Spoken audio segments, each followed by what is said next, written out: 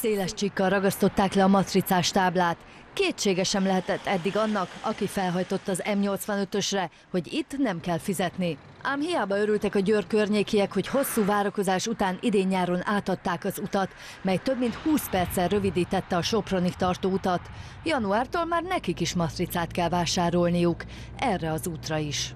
Rendszeresen járok Sopronba, és múlt héten is voltam, és akkor gondolkodtam, hogy milyen jó ez, hogy nem kell fizetnem az elkerülőért, és ez most nekem plusz költség lesz, amit nem szívesen viselek. Nem csak ide, hanem az M43-as Makói szakaszára is matricát kell vásárolni január 1-től. Ha csak megyeit vesznek, az is kategóriától függően 5-15 ezer forint plusz kiadást jelent majd autónként. Az árak ugyanazok maradtak, mint tavaly, és nem változik az sem, hogy az elkerülő utakon és az autópályák bevezető szakaszain továbbra is fizetni kell.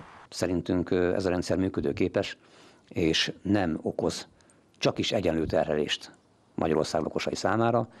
Az volt a célunk, hogy a magyarországi közlekedési feltételrendszert minden magyar ember, és magyar emberekről beszélek most, elsősorban Magyarországon élő emberekről beszélek most, egyforma kép, egyformán és egyféleképpen verségénybe. Az, hogy továbbra is fizetni kell az elkerülő szakaszokért, az LMP szakpolitikusa szerint hibás döntés. Ezek az utak, ezek az útszakaszok azért épültek meg annak idején, hogy eltereljék a forgalmat a sűrű lakott városi térségekből, és nyilván bármilyen szintű fizetősétételük ezzel ellentétes hatást gyakorol. Budaörsön is ez történt. Tavaly január óta ugyanis mindenki a kisvároson keresztül vezet, aki meg akarja úszni a díjfizetést csúcsidőben, reggel, délután, este, illetve a péntek-szombati időszakban a városban egyszerűen nem lehet közlekedni, olyan forgalmi helyzet alakul ki.